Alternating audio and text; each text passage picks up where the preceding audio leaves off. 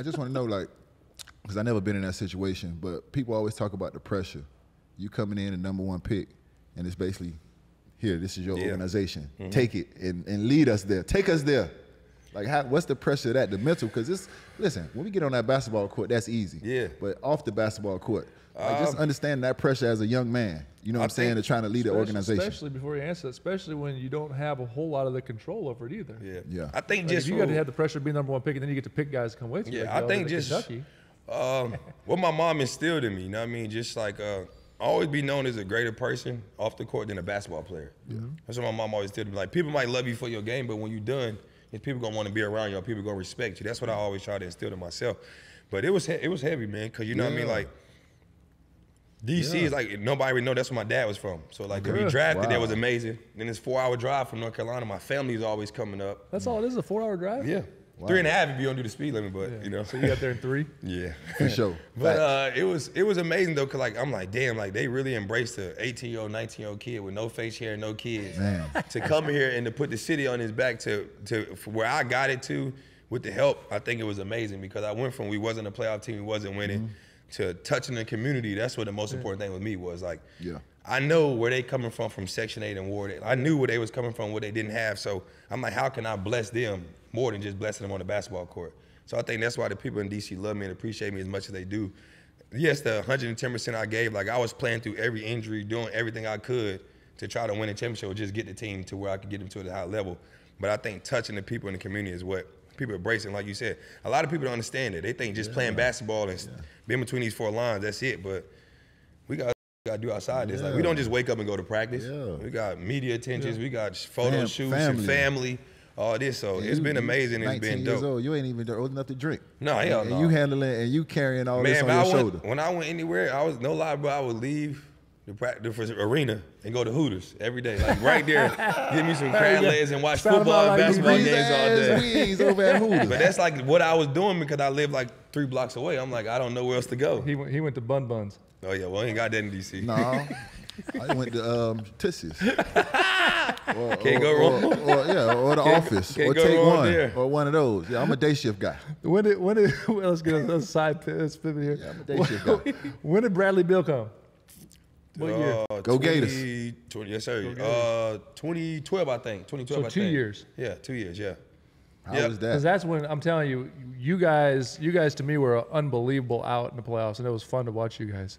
Talk about that with Bradley Beal and and, and uh, Um, it was a blessing, We man. Like, talk about the Gators. I'm just yeah, so- no, for sure. He was a special talent, bro. Uh, he even played with my boy Kenny Boynton that was in my draft Yeah, class. yeah, Kenny yeah, Boynton. yeah. I played Wow, against Kenny him. Boynton. Yeah. No Kenny, Um, South Florida kid. mm-hmm. American Heritage. Mm-hmm. Yeah. and Ray Taylor. Yeah. Mhm. I played against them and Brandon Knight at Team Breakdown. Oh, yeah. So I Brandon got a lot Knight, of another South Florida. history. But um, just get him. I knew how special he was. I watched Brad a lot of AAU. You know what I mean? Like one thing, I'm a basketball junkie. Like I got a big TV and I split. You know, you got direct TV, you go quad switch, switcher.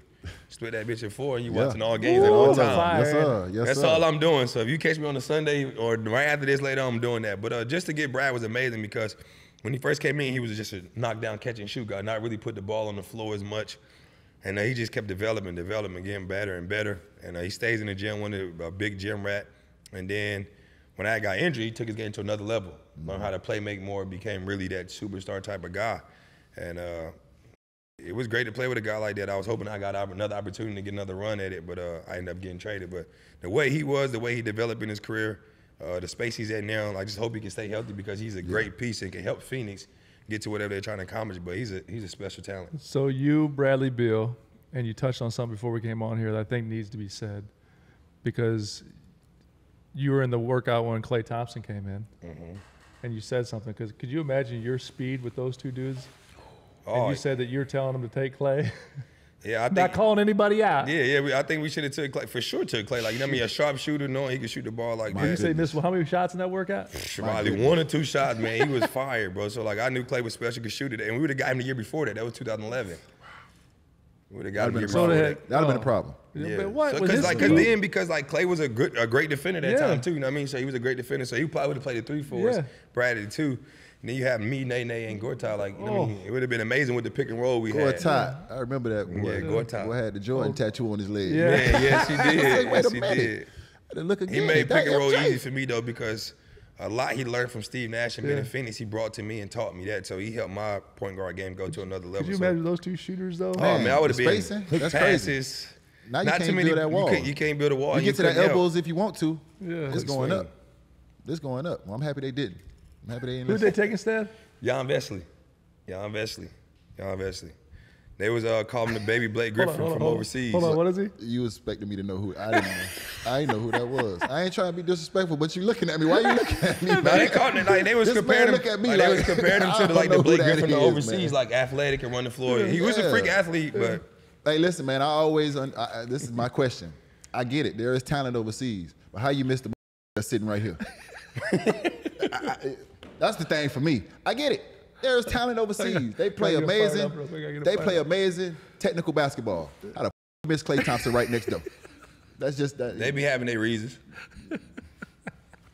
I ain't say they was good, OG, but I just say they got their reasons. Yeah. That cause Okay. I'm gonna get we gonna move on. Cause nah, No, man, keep nah, going. man. I don't keep be going. getting I don't be getting I don't I don't know.